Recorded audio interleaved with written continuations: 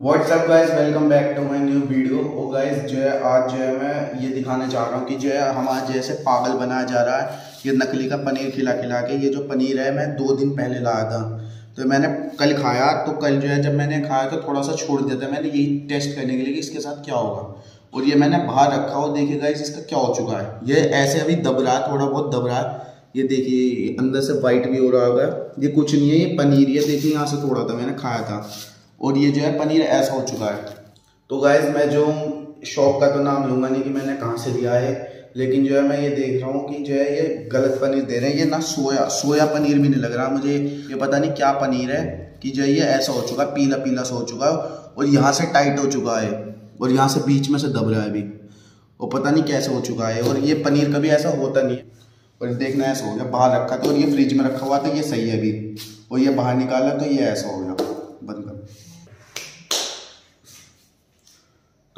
तो गाइज़ मैं यही दिखाना चाहता हूँ कि हमारे जो है ऐसे देख के पनीर ले अच्छी दुकान से ले।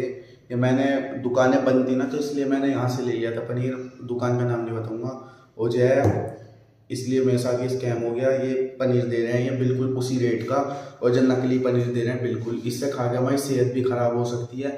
हमारे पेट में कुछ खराबी हो जाए, इनकी थोड़ी ज़िम्मेदारी है। कुछ हो गया, हमारे बीमार बीमार हो गए हम।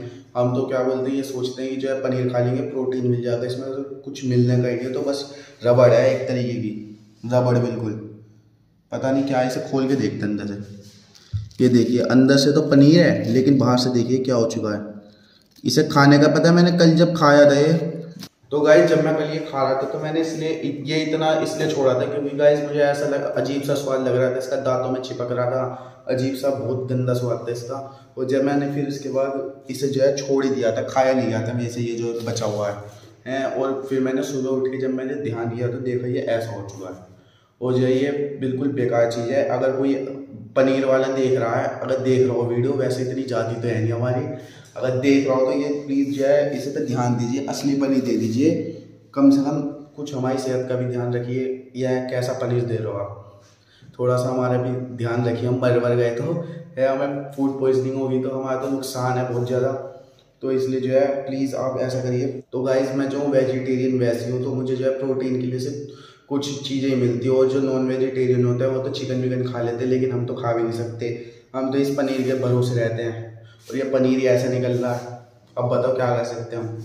तो गाइज़ ये ये था बस आज की वीडियो में। और अगर आपको अच्छी लगी हो तो लाइक कर देना वीडियो को और इसे शेयर कर दीजिए कि सब देखें और जो ध्यान से तो गाइज़ इस वीडियो को जो है शेयर करिए, जिससे जो है सारे लोग देखें और वो हो जाए बिल्कुल जो बंदा हो जाए कि ऐसा पनीर ले जो है, जो डेली वाले हैं प्लीज़ अगर आप देख रहे हैं तो देख रहे हैं तो जो है प्लीज़ इसे पनीर को ठीक कर दीजिए, असली पनीर दे दीजिए हमें। हमें नकली मत दो प्लीज़ हमें जो है खाना भी है हमें ज़िंदा भी रहना भी। तो बस यही था कि जो है अच्छा पनीर बनाए और जो है जो देख रहे हैं वीडियो जो खाने वाले हैं, जो इनकी डेली वेरी नहीं है, वो देख के लें पनीर। अच्छी दुकान से पूरा टेस्ट करके और जो है आज की वीडियो में इतना ही था। लाइक कर देना शेयर कर देना।